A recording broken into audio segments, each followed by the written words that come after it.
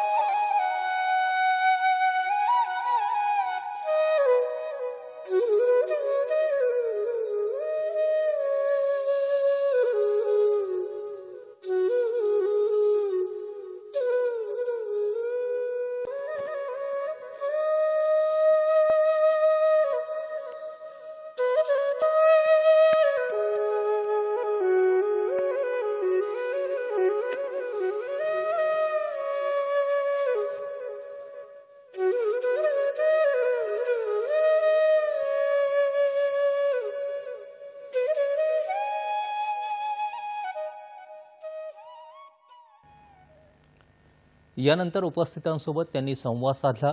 अनेक लोक त्यांची स्मरणशक्ती वाढवण्यासाठी विविध तंत्र विकसित करतात. त्याचप्रमाणे एकाग्रता वाढवण्यासाठी योग फायदेशीर ठरू शकतो असं पंतप्रधान यावेळी म्हणाले. योग जेव्हा नैसर्गिकरित्या जीवनाचा भाग बनतो तेव्हा त्याचा लाभ प्रत्येक क्षणाला होतो याकडे त्यांनी लक्ष वेधलं.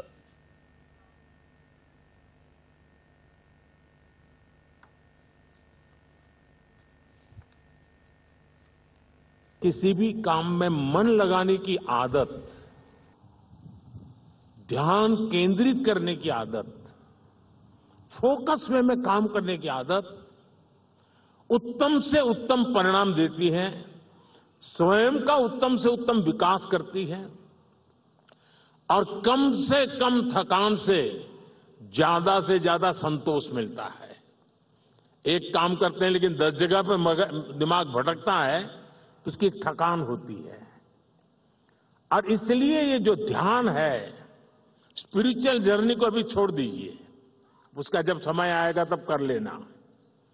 अभी तो अपने व्यक्तिगत जीवन में ध्यान केंद्रित करने के लिए, अपने आप को ट्रेन करने के लिए योगा का एक हिस्सा है।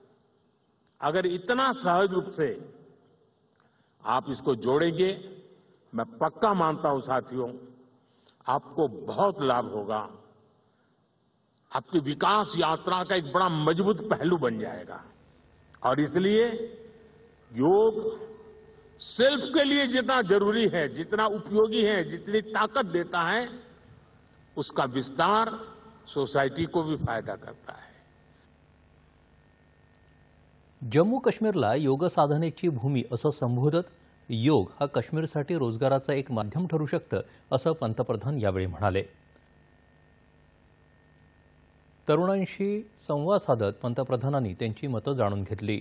सर हमारे साथ किया और उसके बाद थोड़ा देर हमसे बात भी की। उन्होंने इनफैक्ट ये पूछा हम सब क्या क्या कर रहे हैं किसने किस इंस्टीट्यूट से किया है और उसके बाद उन्होंने इस बात पे बहुत ज़्यादा झुकाव दिखाया कि वो जो सभी बच्चे जो स्पोर्ट्स में हैं, उनको योग की प्रैक्टिस डेफिनेटली बहुत रेगुलरली करनी चाहिए। प्रधानमंत्री ने बहुत सुंदरता के साथ हम सबके साथ योग किया और अंत में उन्होंने बहुत अच्छा संदेश भी दिया कि जो रोज़ अपना रहे हैं योग, वो कहीं ना कहीं अपनी निरोगी काया को पाने के लिए तैयार हैं और हमें कहीं ना कहीं योग रोज़ अपनाना चाहिए।